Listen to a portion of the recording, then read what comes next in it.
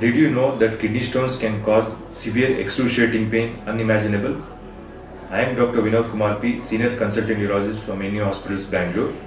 Today, let's talk about how kidney stones form, the various causes of kidney stone, how we diagnose them, the treatment options including minimally invasive surgeries. Kidney stones are hard mineral deposits which form inside the kidney, most commonly made of calcium oxalate.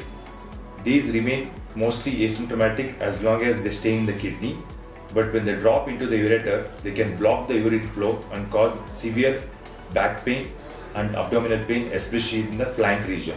But in addition to that, they can cause blood in urine, frequency, urgency of urination. Sometimes symptoms can simulate urinary tract infections. The common risk factors for kidney stones are mainly dehydration, high sodium intake, high animal protein intake, various metabolic conditions like obesity, diabetes, hypothyroidism, and gout also predispose to urinary tract stone formation. And even genetic diseases like hypercalciuria, hyperoxaluria can also contribute to kidney stone formation. When a patient with kidney stone visits our hospital, we do blood investigations to look for kidney function, urine tests to look for any urinary tract infection, an ultrasound to look for the size of the stone and the location of the stone.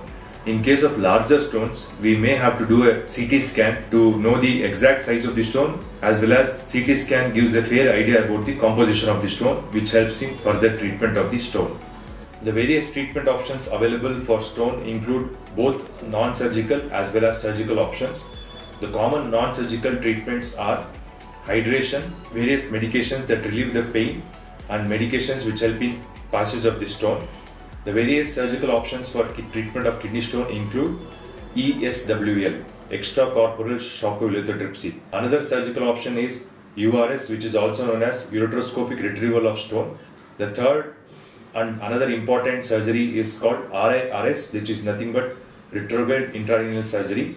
One of the most commonly done surgery is percutaneous nephrolithotomy, which is done for larger and more complex stones in the kidney. Recent advancement in the surgical treatment of kidney stone is also known as ECIRS, which is nothing but endoscopic combined intrarenal surgery. The advantage of ECIRS is there is complete clearance, almost 100% clearance of stone from the kidney, and even the larger complex stones can be cleared in no time. Now, coming to the prevention of kidney stone formation, one of the most important aspect, as we all know, is maintaining a good hydration to have an adequate urine output of around 2 to 3 liters per day, limiting the intake of salt in diet, reducing animal protein intake, increase the consumption of vegetable fibers in diet, and managing various underlying conditions and metabolic diseases like diabetes, obesity, hypothyroidism. There is also a test which is done for patients who form stones repeatedly, also known as recurrent stone formers. This test is called metabolic evaluation, which is done to identify the exact cause for stone formation.